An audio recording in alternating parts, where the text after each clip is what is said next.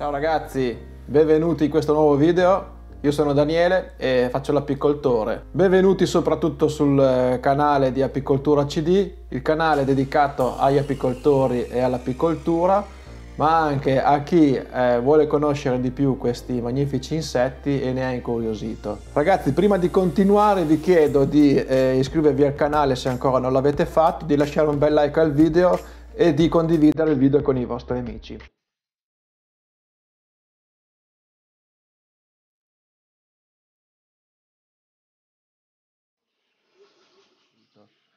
Allora, oggi parliamo di un altro membro dell'alveare, di un altro membro del superorganismo, un membro che spesso è sottovalutato dalla stragrande maggioranza delle persone, ma anche sottovalutato anche da qualche apicoltore un po' superficiale. Oggi parliamo dei maschi, parliamo dei fuchi, che per tanto tempo sono stati sinonimi di parassiti dell'alveare, la cui unica funzione, si pensava, era quella di fecondare le nuove regine. Con i nuovi studi, invece, si è venuto a scoprire che il fuco ha molte più funzioni indispensabili all'interno dell'alveare e la sua presenza è sintomo di eh, benessere del superorganismo e anche di prosperità. Allora, eh, come nasce un fuco? Sappiamo che un fuco nasce da un uovo non fecondato, quindi o la regina depositerà l'uovo nella celletta più larga in modo che l'addome non sia toccato dalle pareti della cella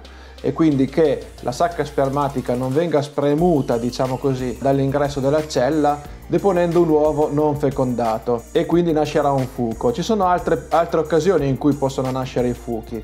Possono nascere i fuchi ad esempio da una regina fecondata male, da una regina a fine carriera, quindi che ha esaurito la spermateca, oppure anche da qualche operaia che eh, in assenza di regina in un nido per diverso tempo, eh, mancando il fenormone che inibisce lo sviluppo dell'organo sessuale delle altre eh, api femmine all'interno del nido, eh, qualche ape operaia potrebbe sviluppare in qualche maniera eh, il suo organo riproduttivo e iniziare a deporre le uova come ultima spiaggia per il salvataggio del superorganismo. Però un apicoltore esperto sa che quando succede questo eh, bisogna correre subito ai ripari, svolgendo le operazioni eh, indispensabili per salvare le api rimaste. Quindi quando un'arnia si dice è fucaiola è quando o una regina fecondata male o a fine carriera oppure un'ape operaia che ha cominciato a deporre perché è mancata la regina per troppo tempo. Allora, come sono fatti i fuchi? A differenza delle api, i fuchi sono un po' più tozzi, sono un po' più larghi, diciamo che sono quasi rettangolari. La cosa che salta più all'occhio sono le ali più grandi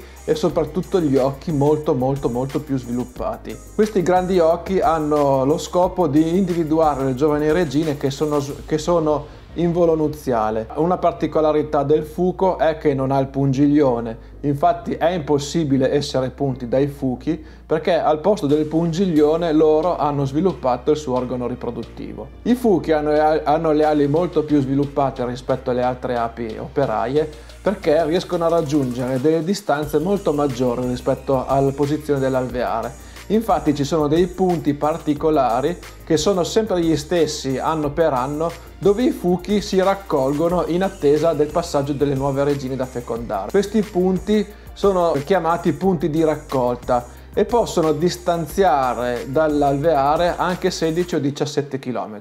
Quindi un sacco, un sacco di strada a differenza delle operaie che di solito arrivano nel raggio di 3 km mediamente. Ecco, questi, sei, questi punti di raduno sono eh, sempre gli stessi anno per anno, abbiamo detto, e sono marcati con dei particolari odori e anche la strada da percorrere dalle regine quando fanno il volo nuziale si pensa che eh, anche le regine percorrano la stessa strada e gli stessi segnali olfattivi.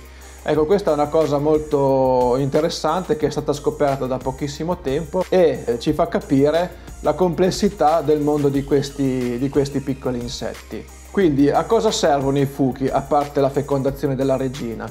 Si è scoperto che il fuco è, eh, svolge funzioni molto importante all'interno dell'alveare. È una funzione in particolare anche per gli apicoltori, soprattutto per i giovani apicoltori. Il fuco è molto utile per riscaldare la covata percolata, infatti in primavera si può incappare in giornate ancora fresche, soprattutto di notte. Il fuco è veramente una, una grossa fonte di riscaldamento, infatti avendo il corpo molto più grande e molto più tozzo rispetto alle operaie, eh, svolgerà una funzione di riscaldamento a, ampiamente maggiore. E un'altra operazione importantissima dei fuchi è quella che partecipano attivamente alla trofallassi, eh, allo scambio del, di nettare o eh, i fenormoni di conseguenza all'interno dell'alveare. Noi sappiamo che le api eh, bottinatrici portano dentro all'alveare del nettare, e della propoli e del polline.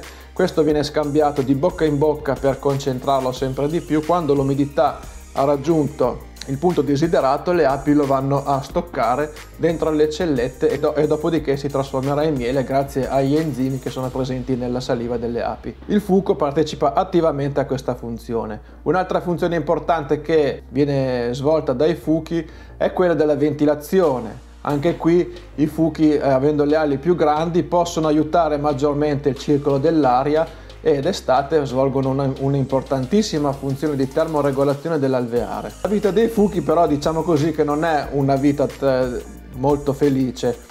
Infatti, diciamo così, lo scopo principale del fuco è quello di fecondare le regine e una volta terminato l'atto di riproduzione, questi eh, sappiamo che vanno a morire perché l'organo riproduttivo rimane attaccato alla regina e loro, perdendo l'organo riproduttivo, vanno a, a morire praticamente eh, sviscerati. Questo è diciamo così la fine più comune dei fuchi. In un alveare ben popolato possono nascere dai 2 ai 6 mila fuchi all'anno e questi fuchi eh, vengono cambiati regolarmente. Infatti la vita del fuco può durare anche 50 giorni. Per un giovane apicoltore il fuco è, è, molto importante soprattutto per fare pratica, perché prima di maneggiare le regine di solito si fa pratica maneggiando dei fuchi. Infatti io dico a tutti, a tutti quelli che me lo chiedono come fai a prendere le regine, come fai a maneggiare le regine, io gli dico se avete paura di sbagliare toccando una regina, cominciate prendendo in mano qualche fuco perché eh, più o meno la consistenza è la stessa e più o meno anche la dimensione e il modo di operare è sempre lo stesso. Quindi cominciate a maneggiare qualche fuco, state tranquilli perché tanto il fuco non punge e provate magari anche a, a, a segnarli con, eh, con, il pennarello.